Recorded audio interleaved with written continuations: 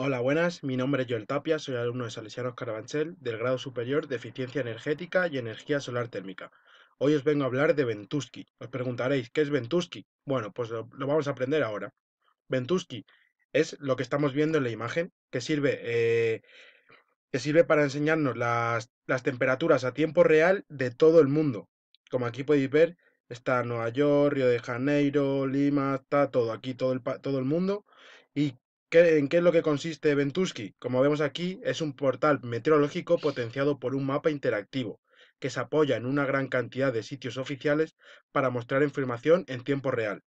Bien, lo que nos quiere decir es que Ventusky eh, es un precioso mapa que donde nos muestra con a través de, de imágenes eh, el tiempo real que hace en el mundo. Bueno, esta es la aplicación a la que ya he puesto yo el lugar de estar y mi ubicación.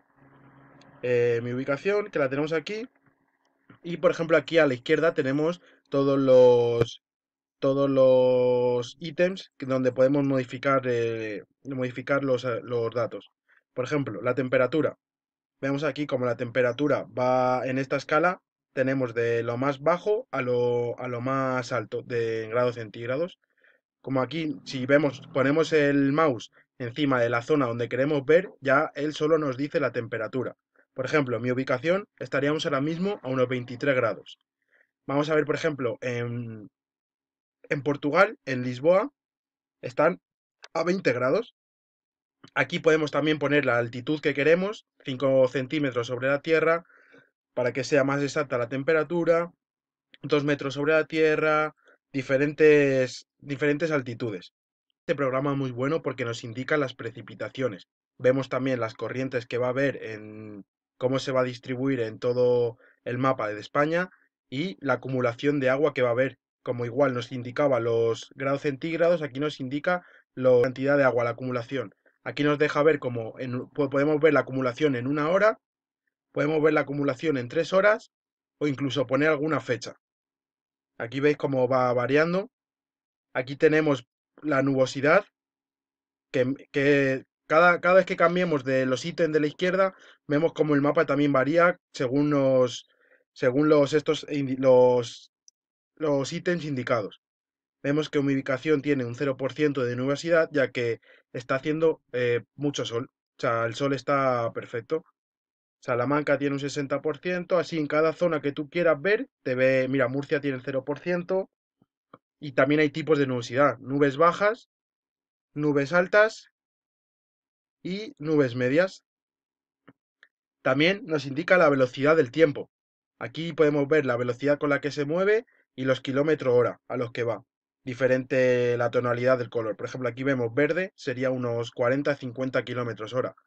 Y vemos como mi ubicación sería unos 19 kilómetros hora está corriendo el viento. También podemos modificar la altitud, que como hemos visto antes, mira, 10 lo tenemos sobre 10 metros sobre la tierra, vamos a poner 100. 100 metros sobre la tierra y vemos como el viento cambia a 23 kilómetros hora. Eso ya dependiendo de a qué altitud lo querramos. Vamos a ver ahora las ráfagas de viento. Vemos como las ráfagas de viento nos indican solo la dirección en la que van. También podemos ponerla en una hora o la fecha que queramos. Solo nos va a indicar eh, el este, la ráfaga de viento que hay. Vale, vamos a ver la presión del aire. La presión del aire, vemos aquí igual a la derecha ya ha cambiado. eh, y nos indica, por ejemplo, que aquí estamos a 1011 hectopascales. Eh, vemos como aquí tenemos igual eh, las diferentes tonalidades y en hectopascales, según la presión que hay en, en el mapa de España. Vemos que en nuestra ubicación 1011, por ejemplo, Zaragoza está en 1010, Córdoba 1014 y así en diferentes. Vamos a ver las tormentas. Eh, las tormentas en julio, en julio es partido kilo. En mi ubicación ahora mismo está a cero porque nos encontramos en casi ya entrando en el verano y, por ejemplo, cero en España, por lo que vemos, pasamos el ratón por encima, por lo que vemos no va a haber, no va a haber tormentas porque nos pone todo cero y no tenemos, no vemos ningún, ningún color de, este tipo. Eh, vamos a ver con la humedad. Vale, la humedad nos la medimos en el tanto por ciento. Vemos como los colores más marroncitos son los más son los más pequeños y los colores más claros son los que más humedad hay. Por ejemplo, mi ubicación exacta hay un 40% de humedad. Eso debe ser ya que, aparte de la zona, yo vivo en un piso bajo, que eso también, eso también afecta. Eh, vemos que La Coruña tiene un 70% de humedad, eso es debido a, las zonas costeras, al mar, porque vemos que aquí en toda la zona costera de España eh, tiene una humedad alta. El tipo de humedad, pues podemos poner humedad relativa o punto de rocío. que el punto de rocío nos lo mide en grados centígrados. Vamos a poner humedad relativa. Vamos a ver las olas. Las olas que habría en... Aquí, mira, podemos ver cómo ha cambiado el plano y ya solo nos marca en el agua. Que en el agua nos indica en metros. Las olas de viento, el oleaje que hay en el mar.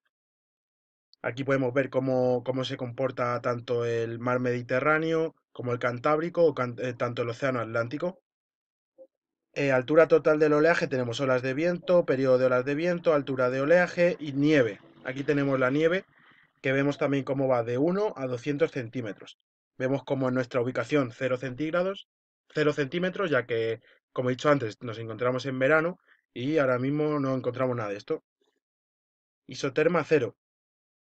Vemos como también va del igual. A derecha es como, el, como la guía que va de 0 a, a 5.000 metros y vemos que, por ejemplo, en mi ubicación tenemos 3.800. Eh, lo que quiere decir isoterma es que, por ejemplo, la temperatura que hay aquí eh, es equivalente a otros, a otros, a otras temperaturas de la naturaleza.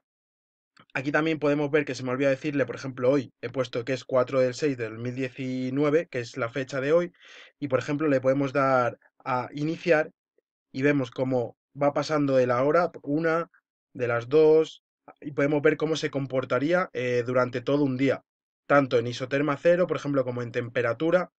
Vamos, mira, ahí por ejemplo son las 7 de la tarde, cómo se comportaría, por ejemplo, a las 5 de la, a las 5 de la madrugada. Vemos cómo va cambiando, a las 8 ya empezaría a amanecer. Vamos a ver, por ejemplo, la nubosidad. Aquí vemos la nubosidad, vamos a ponerlo de las 5 de la mañana. Vamos a iniciar. Esto se podría hacer con todo lo que os he ido explicando.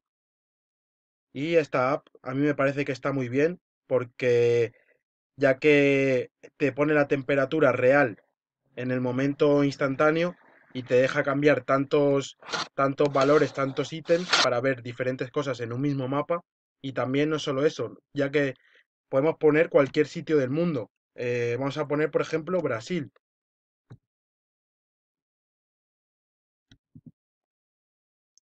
Mira, Brasilia, podemos irnos a Brasilia de la capital, podemos hacer lo mismo que, que hemos hecho en España, ver la temperatura de, de, ese, de ese continente.